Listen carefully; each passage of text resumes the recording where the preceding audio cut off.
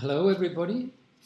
It is my pleasure to present uh, our data on integrase-based first-line HIV antiretroviral treatment in the MeditRes HIV uh, collaboration. So as you may know, integrase strand transfer inhibitors-based regimens are preferred regimens for first-line antiretroviral therapy. INSTI baseline resistance is not recommended by current clinical guidelines. Currently, there is a growing interest on rapid initiation of first-line therapy. Dual therapy, DTG plus 3TC, is now recommended for first-line therapy by some clinical guidelines, and there is a great debate on whether transmitted drug resistance may hamper its use for test and treat strategies. So of course, monitoring of transmitted drug resistance is in real time is needed. And of course, we believe that it, will bring sunlight into this very, very interesting debate. So in this study, we aim to evaluate the prevalence of transmitted drug resistance to the integrase and the NRTI backbone in newly diagnosed patients that are naive to ART. For this, we use MeditRes HIV, which is a consortium that includes ART-naive people living with HIV that have been newly diagnosed in France, Greece, Italy, Portugal, and Spain during years 2018 and 2019.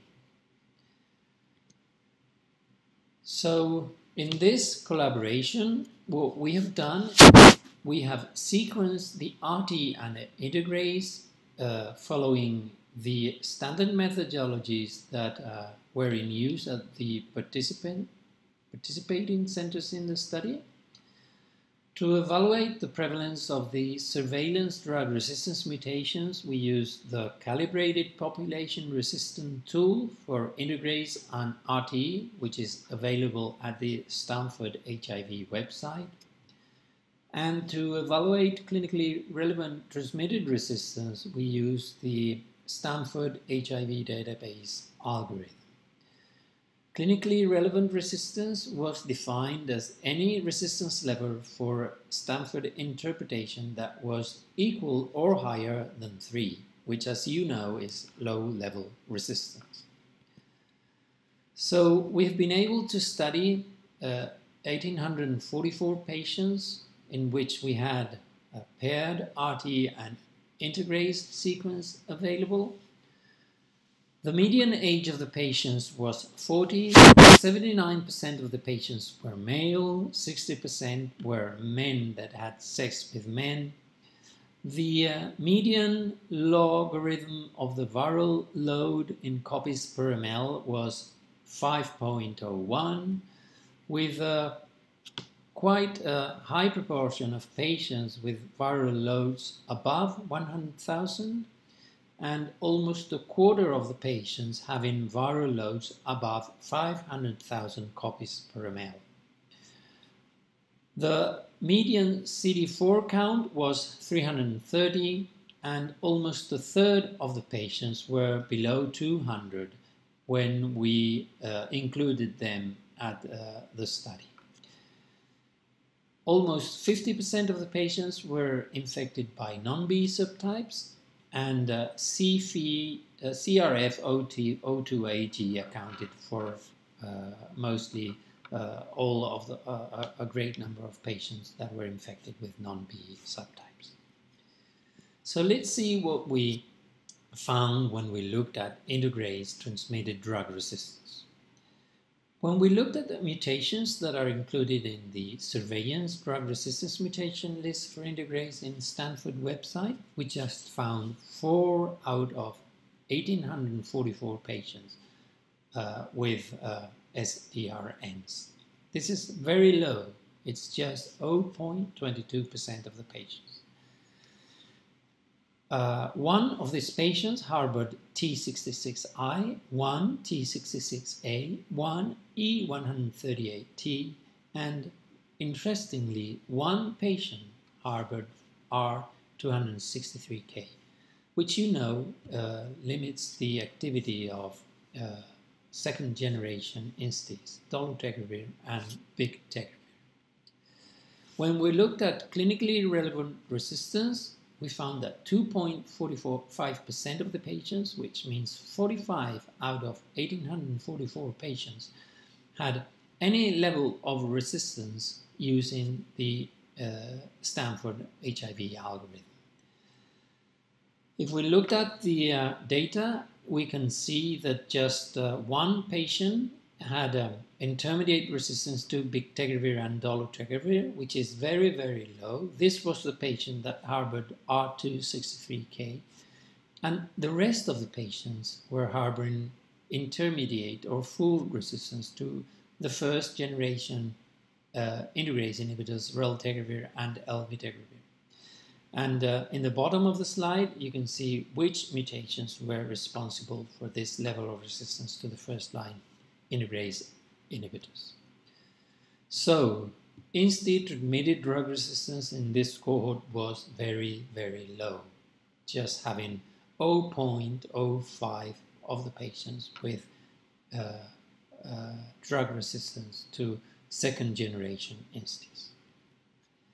When we looked at NRTI transmitted drug resistance, we found 3.6% of the patients. This means 66 patients out of 1,844 patients with surveillance drug resistance mutations.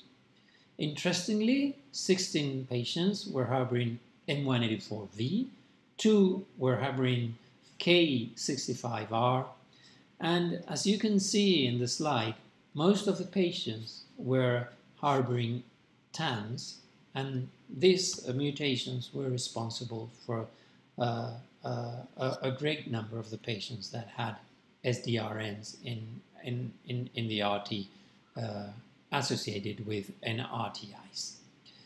When we looked at uh, the clinically relevant resistance, we found that just 1.7% of the patients were harboring clinically relevant resistance to first-line NRTIs.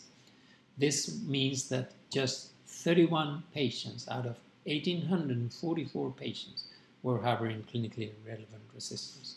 And interestingly, less than 1% were harboring clinically relevant resistance to TDF-TAF and to 3TC-FTC, and 1.5% were harboring resistance to abacavir.